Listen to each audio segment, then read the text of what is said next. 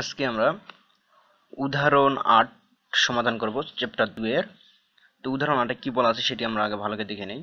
যদি P of X equal to five X cube plus six X square minus A X plus six K x minus two দ্বারা ভাগ করলে ভাগশেষ ছয় হয়। তবে এ এর মান নির্ণয় করো। তাহলে আমরা প্রশ্ন দেখলাম যে এত দ্বারা যদি এই পি অফ এক্স এই বহুপদীকে ভাগ করি, তাহলে ভাগ শেষ কত হবে? ছয় হবে। তাহলে দেখো তো, যদি এই রকম কোনো প্রশ্ন থাকে, তাহলে আমরা এটি ইক্যাল টু মনে মনে কী ধরবো? জিরো ধরবো। ধরে এক্সের মানটি এখানে বসাই দিলে যেটি পাবো, সেটি এই বহুপদীর ভাগশেষ পাবো।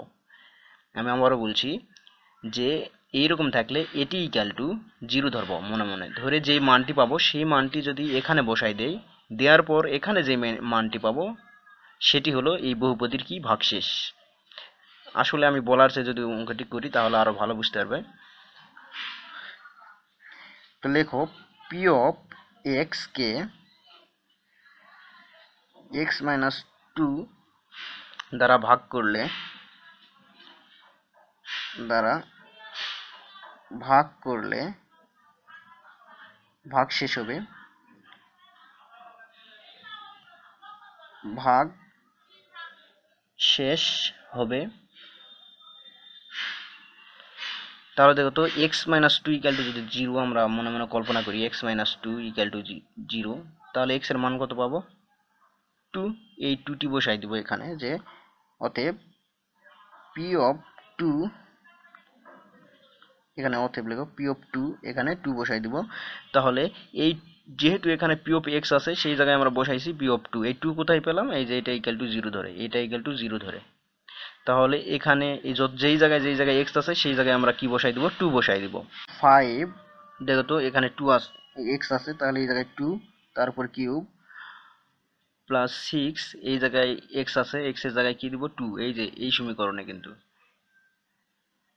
Square minus A into X এই জায়গায় আমরা কি বসাই দেবো? ইন্টু টু তারপর plus six plus six sorry একটু ফাঁকা হলো, সমস্যা নাই। প্লাস সিক্স তো আমরা এটি বসে দেওয়ার পর ক্যালকুলেশন করি। দেখো তো এখানে হবে ফাইভ গুণ দুইয়ের উপর কিপ করলে কত হয়? এইট প্লাস সিক্স গুণ দুইয়ের উপর স্কোয়ার করলে হয় চার minus two A plus six দেখো পাঁচ আসতে কী হবে? চল্লিশ। আর চার ছয়? চব্বিশ। প্লাস সিক্সকে সামনে নিয়ে আসলাম মাইনাস টু এ। তো এই কটি যদি যোগ করি, তাহলে হয় কত? সত্তর। চল্লিশ এই যে চব্বিশ আর ছয় তিরিশ আর চল্লিশে সত্তর। সত্তর আর মাইনাস টু এ। তাহলে আমি বলছিলাম কি, যদি এটি এখানে বসে দেওয়া হয় মানে এটি ইকাল টু জিরো ধরে যে মানটি আসবে, সেটি যদি এখানে বসে দেওয়া হয়, আমরা যে এই বসে দেওয়ার পর যে মানটি পাবো মানে এখানে আমরা বসাই দিলাম, এটি ইকাল টু বসাই দেওয়ার পর যে মানটি পাবো সেটি হলো এটির ভাগ শেষ কিন্তু দেখো প্রশ্নে দেওয়া আছে ভাগ শেষ কত? ছয়। অথেব শর্ত মতে, অতএব শর্ত মতে